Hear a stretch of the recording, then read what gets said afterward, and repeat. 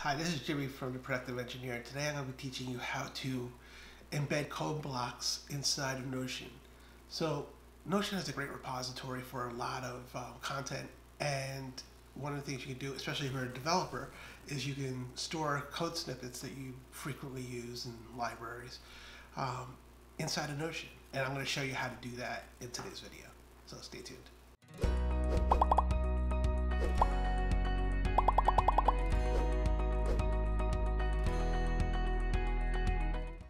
Before we get started with the video, um, if you like this video, please click the like button as it really helps out my channel.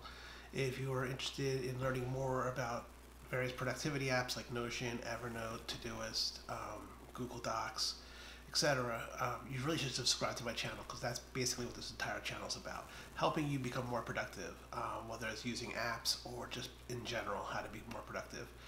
And if you um, want to be notified when I release new videos, please click the uh, bell. Thanks. Okay, so let's get started. So as you can see here on my uh, page, I actually set up a programming languages page in Notion.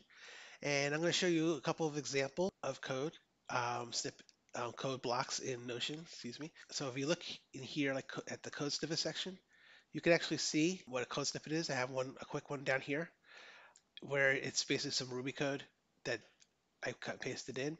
Um, the key things with these code blocks are um, there's really two values to them. One is that it retains, it understands the the code enough to color code it effectively. So you'll see like assignment operators here, and you'll see strings and arrays that are you know where you can actually see the color coding of the values. You can also see the comments here in the comment section here, so you can see how actually great you know browns it out here, so you know that it's a comment. Other thing you can do is, let's say I had this code, I was writing some code and I wanted to, for whatever reason, use this snippet in an, an application I was writing. I can simply come here, click copy to clipboard, and then paste it into whatever code editor I'm using. So if you're a developer, it's really valuable a lot of times to save code that you reuse often. So that way you can just re-leverage it in different ways in your new newer applications that you're developing. And Notion is really great at storing things and it just makes sense to leverage Notion for this. So I'm going to show you how to use a code block. So what we're going to do here is I'm going to come down a couple things here. I'm going to type slash and type typing the word code. And you can see here, it'll say under media code, this is the one I want. Don't choose the CodePen option. The CodePen option actually will embed a CodePen object inside of your page, and that's not what you want to do here. So I'm going to click on code.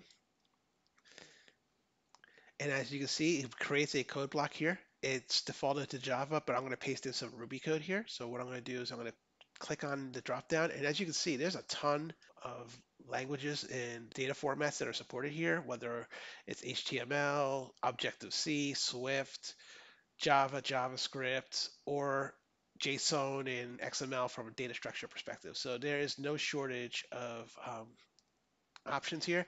I'm going to choose Ruby because I'm pasting Ruby in. And then I'm just going to, I've copied my code and I'm going to come in here and paste it. And as you can see, it pastes it in, it understands it, you know, the operators, it understands the comments, it understands, you know, the conditional statements.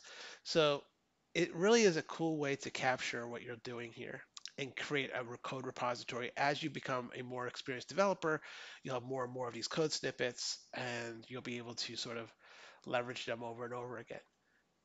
So I hope this short tutorial was helpful. If you like this video, please click the like button as it helps out the channel.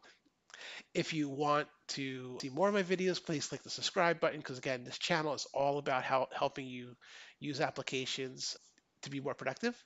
And if you want to be notified when I release new videos, please click the bell. Thank you.